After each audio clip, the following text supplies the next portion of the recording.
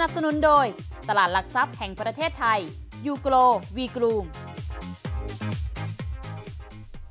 สวัสดีค่ะ ต้อนรับเข้าสู่รายการ Smart Money นะคะ รายการที่จะช่วยต่อยอดความมั่งคั่งอย่างยั่งยืนให้กับคุณผู้ชม กับดิฉันวรวรรณตินลา และทีมงาน Money Channel ค่ะ จริง ๆ นักลงทุนที่จะลงทุนแบบยาวๆนะคะ การคาดการณ์ให้เห็นถึงอนาคตข้างหน้าว่าเศรษฐกิจนั้นเทรนด์จะเป็นอย่างไร โลกของเราจะเกิดอะไรขึ้นต่อเนี่ย เป็นสิ่งที่สำคัญมากค่ะ โดยเฉพาะ ในอนาคตอันใกล้นี้ค่ะเอเชียของเราจะเป็นอย่างไรวันนี้นะคะ ทางดรพงศักดิ์ค่ะ มีคำตอบมาให้แล้วติดตามได้ในช่วงหน้านะคะ แต่สำหรับตอนนี้ไปติดตามสาระดีๆ ที่นำมาฝากกันก่อนค่ะ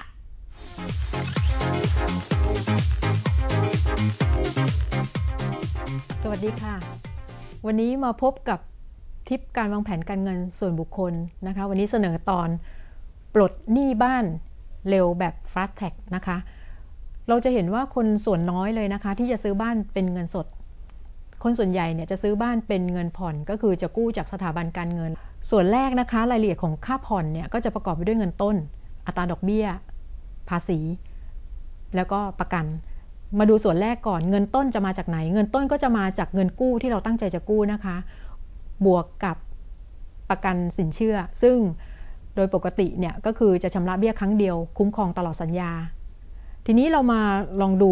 โครงสร้างของการผ่อนกันที่เราจ่ายค่างวดไปในแต่ละปี เราจะสังเกตว่าปีแรกเนี่ย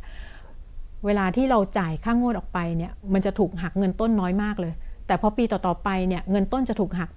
เพิ่มขึ้นเพิ่มขึ้น เพราะว่าดอกเบี้ยจะลดลงเรื่อยๆนะคะ ทีนี้เราลองมาดูตัวอย่างนะคะ ถ้าในตัวอย่างนี้นะคะ กู้อยู่ 3 ล้านบาทนะคะ อัตราดอกเบี้ยอยู่ที่ 7%สัญญาอยู่ 20 ปีนะคะ เพราะฉะนั้นการผ่อนต่องวดเนี่ยคือ 23,000 บาทนะคะใน 23,000 บาทลองมาดูนะคะ ถ้าถ้าเราผ่อนงวดแรกเนี่ยก็จะเงินเงินต้นก็จะเหลือ 5,000 กว่าบาท เพราะว่าจะมาจากในส่วนของดอกเบี้ย วิธีการคำนวณดอกเบี้ยก็คือ ทั้งงวดแรกเนี่ยก็คือจะนำเงิน 3 ล้านบาทที่เป็นเงินต้นมาคูณ 7%ก็คือ 210,000 บาท หาร 12 ก็จะเป็นดอกเบี้ยต่อเดือน 17,500 บาท ทีนี้เรามาดูว่าราคาบ้านรวมดอกเบี้ยแล้วเนี่ยจะแพงหรือถูกขึ้นอยู่กับ 3 ปัจจัยนะคะ อัตราดอกเบี้ยจำนวนเงินที่เราผ่อนต่องวดนะคะ แล้วก็ระยะเวลา เราลองมาดูตัวอย่างนะคะ ถ้าเกิดว่าเราเริ่มต้นกู้ที่ 3 ล้าน ระยะเวลาของการทำสัญญา 30 ปีนะคะ เท่ากับว่า ดอกเบี้ย 7%แล้วก็เราผ่อนเดือนละ 19,000 บาท ถ้าเราเติมค่าผ่อนเนี่ยอีก 2,000 ก็คือผ่อนงวดละ21,000นะคะ เราลองดูนะคะ การผ่อนเนี่ยจะลดลง ดอกเบี้ยจะลดลงล้านเป็นล้านเลยนะคะ และที่สำคัญที่สุดการผ่อนทั้งหมดเลยของเราเนี่ยไม่ควรจะเกิน 35-40%ของรายได้นะคะ มาพบกับทิปดีๆ ใหม่ในตอนหน้านะคะ สวัสดีค่ะ